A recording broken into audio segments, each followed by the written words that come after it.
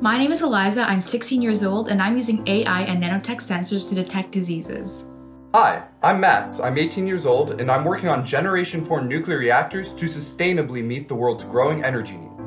My name is Adara, I'm 17 years old, and I'm researching how to use bugger culture or insect farming to create alternative protein products. I'm Roxy, I'm 13 years old, and I'm using stem cells to cure nearsightedness.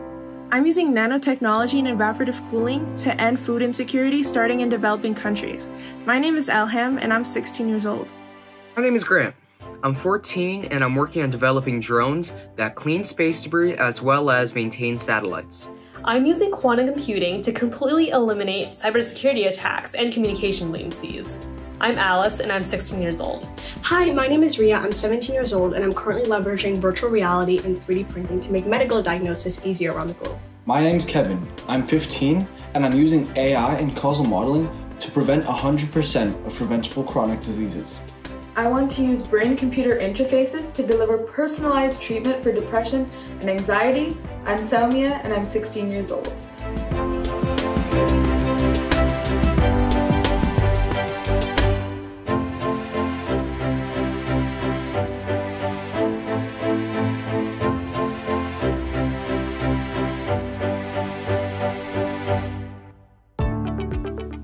I want to give people peace of mind by telling them exactly what's going on inside their body and helping them take proactive action.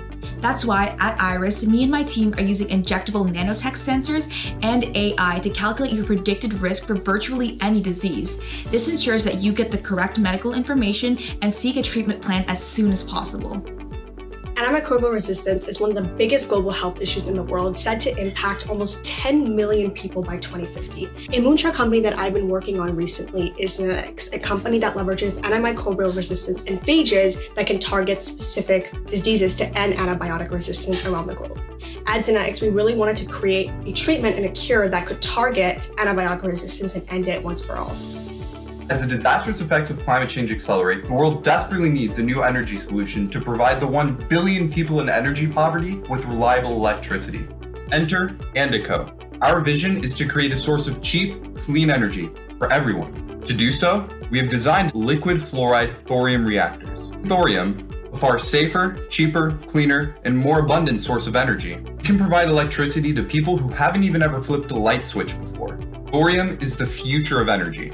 At Andico, we guarantee it. The problem that I'm interested in solving with this project that I call Carbivore is the huge environmental footprint that our current protein production industry has on the environment. And through that, helping to slow global warming and also address the food crisis simultaneously. And what this moonshot means to me is completely carbon neutral protein production by 2050 ideally. And this paves the way for a future of closed loop cities and a better future as a whole. There are over 264 million people suffering from depression. Yet there are only four types of antidepressants in widespread use. But Revive, the moonshot company I co-founded, uses a simple headset and mobile app to monitor the neurotransmitter levels in your brain and deliver treatment accordingly. We strive to deliver personalized feedback, eventually implementing preventative measures to eliminate depression altogether. Dozens of satellites are lost every decade due to space debris, and as a result, space agencies are losing billions of dollars. To prevent this, Asteroid plans to use the Hive module. It is a set of relaying drones that both collect debris and maintain thousands of satellites. This would go into refueling them and even repairing malfunctions.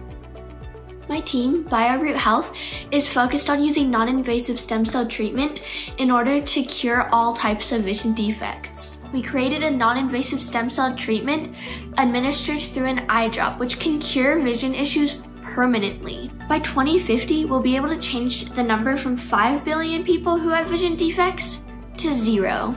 I'm super passionate about AI and causal modeling and how we can use these technologies to solve hard problems. Topi's vision is to create a world where 100% of preventable chronic diseases are prevented.